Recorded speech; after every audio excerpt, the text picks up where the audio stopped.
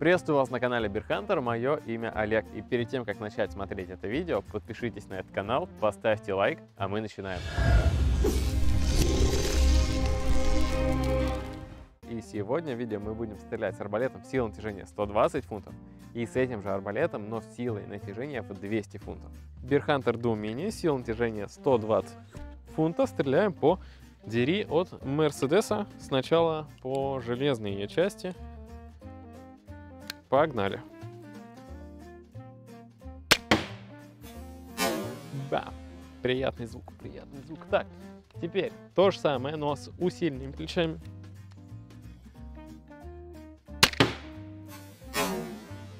Ну и с бродхедом.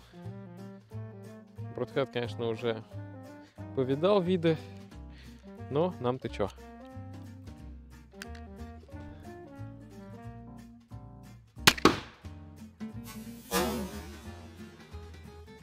Ну, давайте по стеклу, что ли, сразу. Да, давайте сразу, чтобы это... Время зря не терять. У меня как раз последняя стрела осталась. Усиленный арбалет. Филд, то есть спортивный наконечник. И стреляем по стеклу.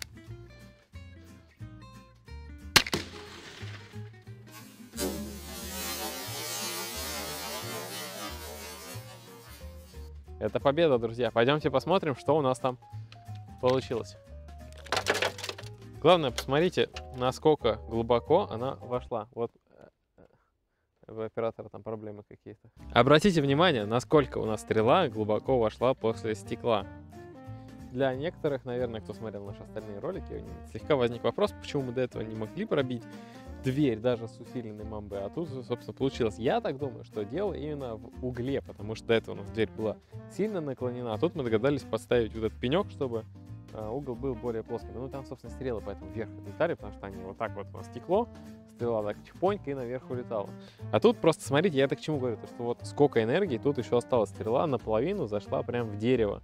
А это не такой уж и гнилой пенек. Ну да ладно, черт с этим пеньком, в сторону его. Давайте посмотрим, что у нас с дверью получилось. Вот это, насколько я понимаю, у нас Doom с, с слабыми плечами на 120 фунтов. Что у нас там? Насквозь что-то пробило? Ну, вот тут вот есть небольшой след от второго железа. То есть, смотрите, первый пробил насквозь, вторую железку промял.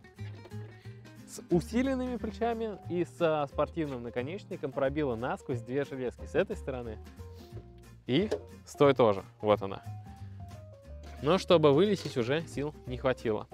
Ну и третья у нас бродхед, но там мы попали в механизм самой петли двери, поэтому там, я не знаю, надо разбирать дверь, смотреть, что там куда воткнулось, но, собственно, я думаю, что примерно то же самое, что и со сфилдом.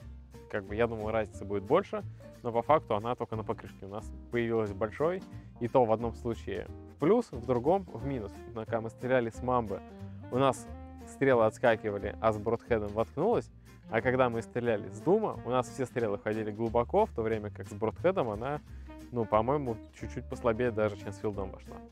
Что ж, друзья, надеюсь, видео было вам интересным и полезным, так что ставьте лайки, пишите комментарии, подписывайтесь на этот канал, ставьте колокольчик и до новых встреч!